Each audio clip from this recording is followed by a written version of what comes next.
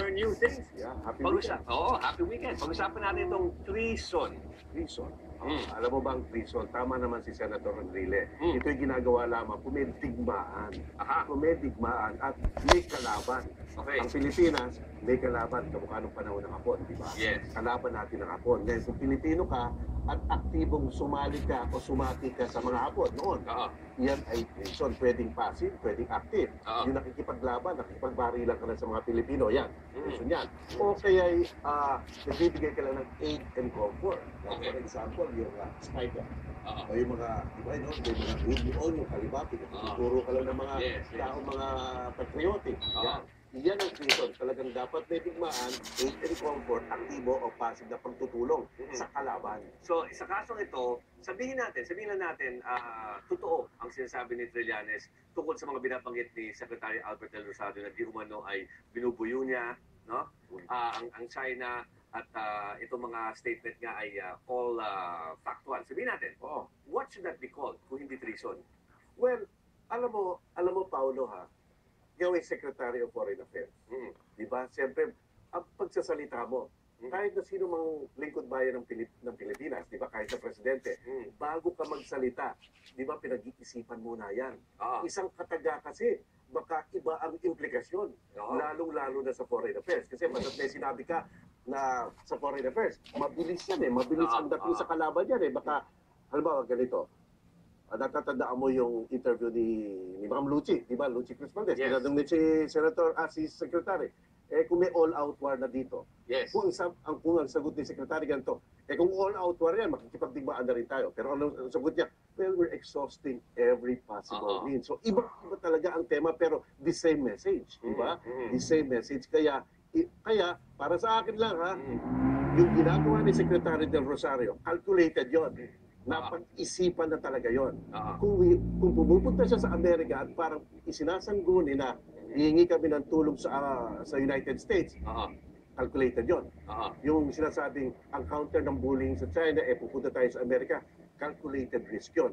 Talagang pinag-isipan na yon. Hindi naman knee-jerk reaction yon. Oo. At itong bagay na to ay ah, dapat ah, napagkasunduan ng palasyo ng Pangulo at ni Secretary Albert De Rosario. Siyempre, May estratehiya.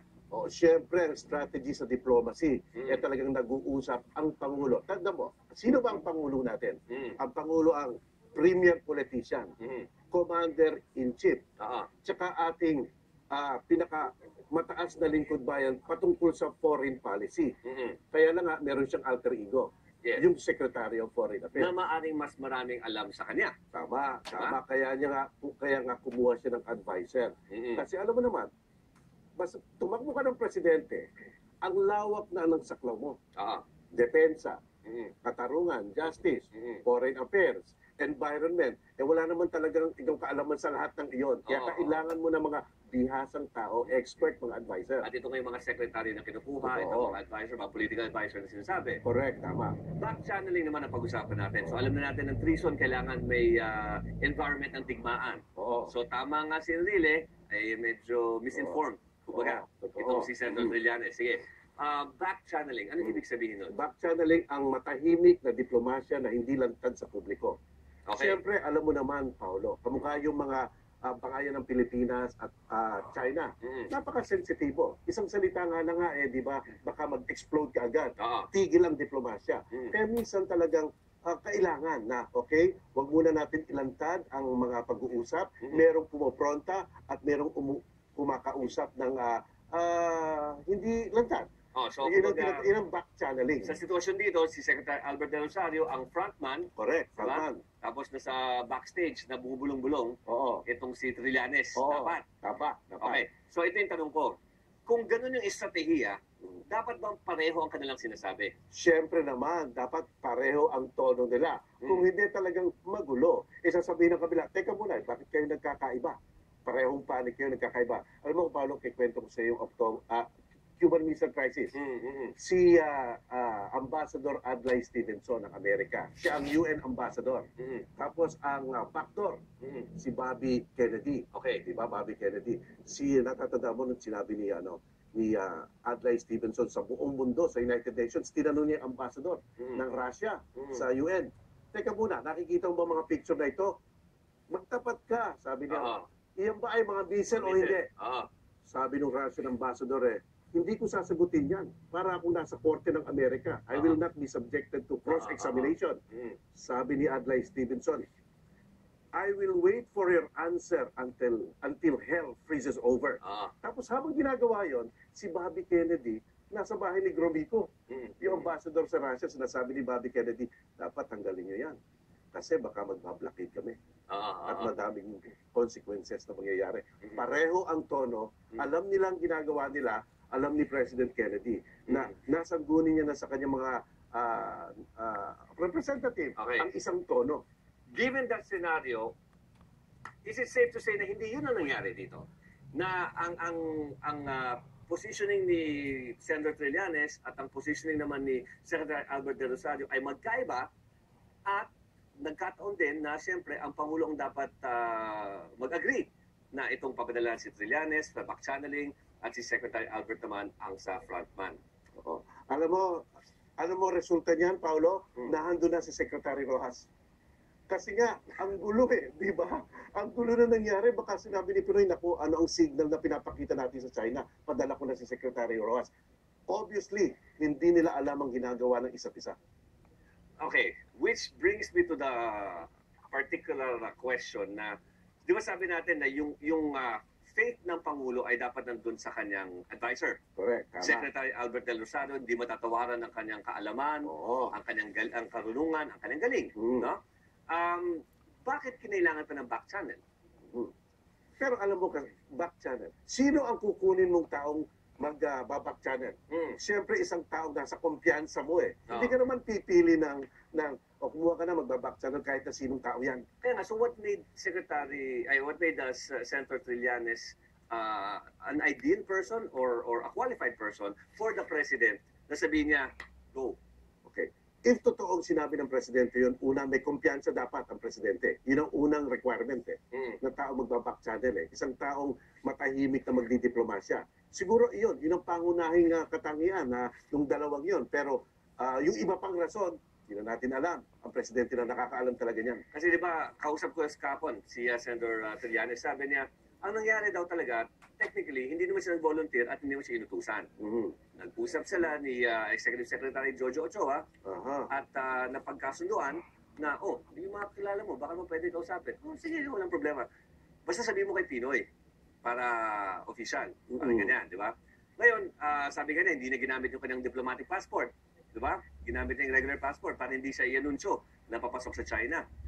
Ang tanong ko sa kanya ay, uh, dahil diba binanggit niya kay ah, Senate President Juan Ponce Enrile, wala akong obligasyon na sabihin sa. Senate, sa, sa Senate President, President. o Senate. President kung ano yung ginawa ko doon. Mm. Di ba?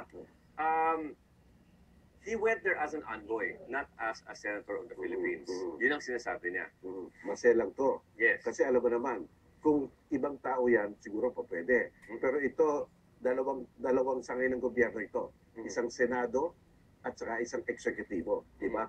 Hiwalay dapat sila, nag-check and balance sila. Mm. Kaya nga siguro eh, si Senator Enrile, naisip niya, baka ako masangkot rin dito. Mm. Kasi ang tingin ng tao, marahil eh, meron rin imprimatur ko ito.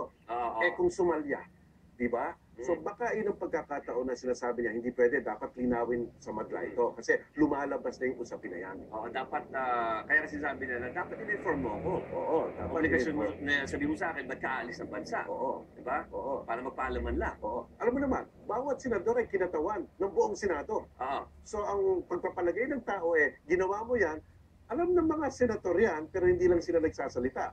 Mm. Kaya nga itong nakikita natin, parang nabibigla ang lahat. Oo. Nabigla si Senator Enrile. Oo. Nabigla si Secretary Del Rosario. Yes. Siguro si President Pinoy, siya lang hindi nabigla. Oo. Di ba? At ah, nabigla na rin yung iba't iba nung nagtututuruan na, Oo. na nag-volunteer ako, hindi naman ako nag-volunteer, parang gano'n na nangyayari. Magulo. Does it go does it go without saying na mukhang hindi na-inform si Secretary Albert De Rosario na may nag-back channel? Mukhang gano'n na nga ang nangyari. Kasi lumalabas na rin yung kanyang disappointment. Although hindi niya tuwirang sinasabi kung sino yon. Mm. Pero nagpapahiwatig siya. Kaya nga lumabas tong issue to. Should he feel na parang, uh, not man insulted, no? pero parang inismall siya?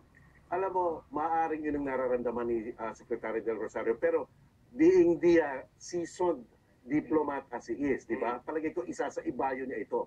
Kasi ang tinitignan niya yung buong kapakanan ng bayan eh.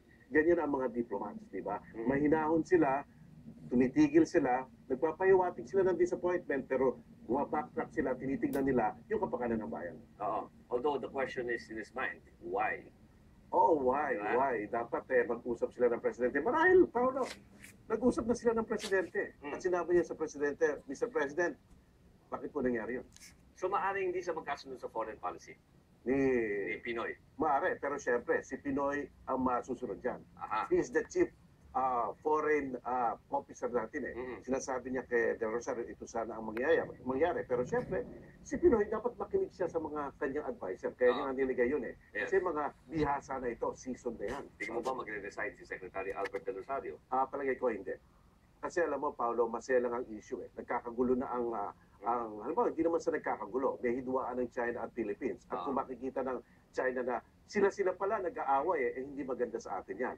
Kaya palagay ko, not in the near future. So may supreme sacrifice kung May mag- supreme sacrifice ito at ah, Mm. talagang tinitignan ang kabuuan, no? kalapang kalahatang kapakanan ng bayan. Huling tanong, itong mga isisiwalat ni ah, Senator Enrile, Mm. eh, masiselan ang impormasyon. Oo. Oh, so binabanggit niya itong ah, mga ginawa daw ni Trillanes ay mali. Eh, could we be could we say the same thing about Senator Enrile? Well, yun eh. Yun, yun ang bakbakan nila. Alam mo, minsan nakaka-disappoint, ano, Paolo, no? Mm. Sa ating gobyerno, nakikita natin parang yung mga lingkod bayan na natin nasa taas, eh, parang nagkakagulo sila. Ah, Ah, sa Senado, sa Senado, nag, may nagwo-walk out. yes. Sa Korte Suprema, may hindi uma-attend ng mga ng flag ceremony. Ah, Di ba? ah, kahit inibit at tinext lahat. Kahit na tinext lahat. Parang tayo mga mamamayan, nakikita natin, ano ba nangyayari dito? May gulo sa Senado, may gulo sa Korte Suprema, hindi nagkakaunawa ng executive. Mm. Eh, ano ba yan? Kaya dapat ayusin nila ang kanilang mga mga ginagawa dyan. Oo, oo, they have to get their act straight. Correct, tama. Oo. Pero i- itong ah, mga sikreto na isisiwalat nga ni Enrile, pwede ba siyang asuhan? Can that be taken against him? Well, palagay, Especially usapang uh, kudita. Oo, oo. alam mo, basta't lingkod bayan ka, talagang dapat lantad ang iyong private and public life. Mhm. Sapagkat dyan lang nakikita ng tao, sino ka bang tao? Talaga bang maano ka namin, ma, mapapagkatiwalaan ka namin. Yung iyong trabaho bilang gobyerno, okay. Pero yung pagkakatiwalaan ka namin, ah, ano bang nagawa mo? Ah, ikaw ba ta- ang taong ah, magaling mag-sinungaling o hindi? Lagi ko, ano, ano yan eh, fair game eh. Fair Ah, game na ang ah. nangyayari dito eh. Ah, nag-walk out, Mhm. Tumawag yung isa ng coward, o yun ang nangyayari. Ay, tingnan nga natin kung ah, sa utos ng Malacanang, at sinabi nga, manahimik muna kayong lahat dyan. Tingnan natin kung susundan nila yan o maglalabasan na naman ng iba't ibang mga bala at magpuputukan na naman magkakaroon ng fireworks sa Senado. Mabuti na, magre-recess na rin sila. Tama. So, kukupa muna ang So, tensyon. peace. Ah, Maraming salamat, Attorney Mel Santa Salamat, Maria, Paolo.